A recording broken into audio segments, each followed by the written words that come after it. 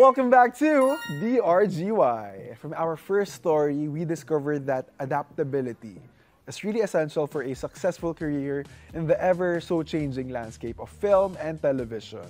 This ability to adjust and thrive in a variety of genres is critical for our aspiring actors. But if you find shifting genres to be a little kumbaga, too risky, you can always flex excellence with a unique personality. Just like how our next Kapamilya star showed his acting prowess through memorable contrabida roles, which eventually led him to pursue a career in music. How did his favorite projects lead to his ultimate music dream? Marcus Patterson shares his inspiring stories on our next Best of Saucy. Kamusta? How is your week so far? Kamusta mga months for you? Uh, this year so far has been solidly, solidly um, stagnant. Sobrang saya. Pero syempre, we want to know more about you and lahat pa ng mga pinagdaanan mo as what we mentioned kanina. No? Sure. So, we know we all saw you, you know, grow as an actor also. Kaya naman today, let's look back sa mga ilang iconic and giggle roles mo. so, I have with me some pictures ng mga iconic uh, teleseries na nakasama ka din in mga films. So, magre-react ka lang dito. And the first one is... Ang babaeng allergic sa Wi-Fi. Ooh. This particular movie, Ang Babaeng Allergic sa Wi-Fi, passion project ni Direk June, uh, Robles Lana, and it was it was a brilliant film. The script was amazing, and um, I auditioned for it. Tapos the next day, I was cast already because they were sobrang late na sila, sobrang late na sila. Hindi sila makahanap ng ng person fit. for the character. Yeah. So I was like super shocked na ako kasi oh my god, like first movie ko to gagawin ko tapos makakasama ko pa sila Jameson sa si Sue. So parang sabi ko, my goodness, sobrang blessing to. In terms of acting, kasi si Sue, sobrang galing din na Oo, actress, no? yeah. Ano yung mga na-share niya sa'yo na skills niya when it comes to acting? Of course, marami naman siyang advi- advice na parang, especially like first film ko yun, na parang, oh, find your camera. Yun the basic stuff na kailangan pag TV and film na you have to look good, find your light, find your cam, um, be generous, don't don't um, don't block the other actor, yung mga ganun. Mga normal stuff. Gets. Pero syempre, gusto namin makarinig ng mga iconic lines mo rin dito, no? So baka meron kang maalala dyan na pwede mong uh, sabihin on cam. Stop acting like a goddamn saint, Aris! Oh, diba? Ano? Santo-santo pa siya eh. Sabi, hindi na ako mga joke, magsasanto-santo ka ba? Pero comfortable ka naman sa mga ganong roles agad. Oo, bro. Mas, honestly, mas prefer ko yung mga contributor roles. Mhm. It's more fun eh. Kasi pag bida, boring eh. Gets. Ang galing nga kasi naalala mo pa lahat ng yan. Kasi Oh, bro, I- first movie ko, hindi ko makakalimutan yun. means a lot definitely Oo, sobra, sobra. Ito, next naman natin. Uy, estudyante ka dito ah. As This in, one's like, uh, Dead Kids ba? Dead Kids. But yeah, that was super memorable because yung movie na Dead Kids, yun yung first Philippine Netflix original. Na-pressure ka ba with this one? Kasi nga you mentioned parang first uh, produced by Netflix. We didn't know yet. That was fun. It was parang wala nang pressure dun eh. Kasi nung time na yun, in-enjoy ko lang talagang buhay. That was just after my motorcycle accident actually. So I still had, uh, like, I was Mga still limping. scars? Yeah, I- no, I was, I was still limping. I was still recovering pa.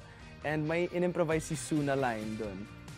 Um, kasi may, so the scene was like, I was trying to get out of theater practice. And my line was, sorry, I have soccer practice. Hindi naman ako nagsasoccer sa, sa, sa movie. Uh-huh. So you know what she said? She said, break a leg. and I just broke a leg. Ang galing niya dun. Ibang Sobra. manifestation. Oo, manifestation. Na literal tayo. Diba? Oo. Ito, next one. Ay, nako po. Viral scandal naman pala tayo sa next. Ay, nako. Yun na naman tayo. Ito, for this one, ito parang pandemic, patapos na yung pandemic days to eh. Medyo. Na-miss mo ba yung ano, pag-acting? Yeah, as soon as I got to the Philippines, we got to the lock-in. Um, we all bled for the characters. We built our own characters. Gets. And ito, kasi syempre, for sure, baka naging challenging din to for you at some point. Um, may mga eksena ba na kailangan mo talaga mag-prepare? Of course. I mean, uh, a lot of the emotional scenes, uh, you have to you have to prepare talaga. Kasi alam mo naman pag taping, it's on a schedule. Yeah. It's like that, you know. So you have to either depende sa eksena. Even it doesn't have doesn't even have to be a crying scene. Like you have to find the, yung tamang timpla ng galit, yung tamang timpla. It has to be perfect talaga para ma para makuha talaga yung gist ng eksena ng sobrang Parang hindi pwedeng puro sigaw. Yeah, Ganyan. dude. Ito, syempre, ito, ito na yung recent one. This is Pira Pira Song Paraiso. Cool boy. Ayan. Kamusta naman to for you? Kasi ngayon, syempre, showing na rin siya. no? Yeah, yeah. Um, Are you still shooting right now? We still are, yeah. Um, this is super fun for me. I it's so fun to do, and it's and I'm surrounded by such a brilliant cast, brilliant actors and actresses. So You mentioned ano eh, parang a lot of action, di ba? Na Yeah. nangyayari sa'yo dito. Yeah. How was the preparation for that? Or basta, okay, gawin na lang natin? Well, no, me and Elise did uh, parkour training Oh, okay. because we, me and Elise have a lot of scenes together. So a lot of the action scenes, actually, the recent taping that we did, oh, I love the scene. We killed it, um, and I can't wait for it to come out, but it's not out yet. But I'm just gonna say it was such a good scene. Uh, the action sequences were brilliant. The action, the stunt director was amazing. Ang ganda talaga, bro. As in, like, until now, I'm thinking about it. I want, I really want to watch it. But yeah, it's good. Galing. And ang ganda mga eksena, guys. Make sure to watch this one as well, Pira sa Paraiso. And then your character's name is Kano, Kano. di ba? Halata naman, di ba?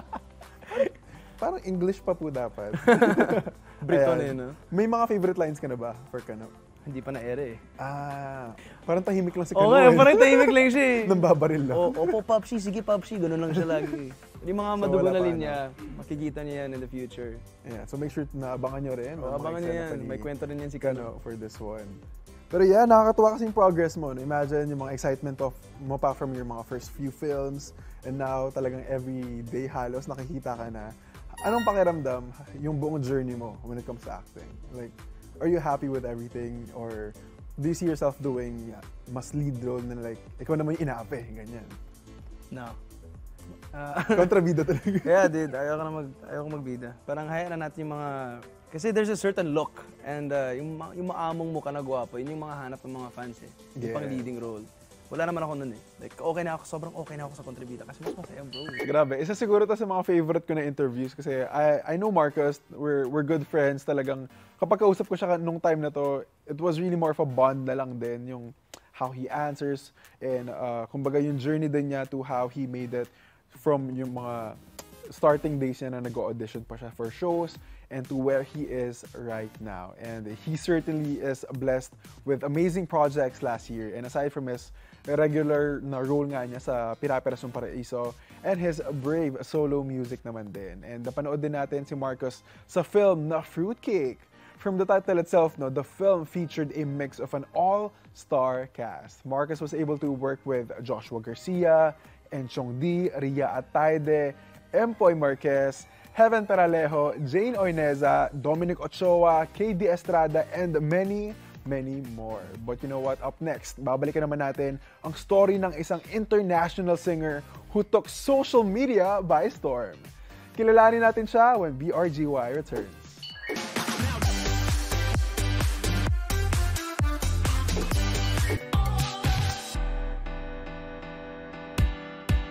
Hello B-Fam, this is Yuki Takahashi. And if I were to change my career instantly, like right now, I would want to be the owner of mabuhay.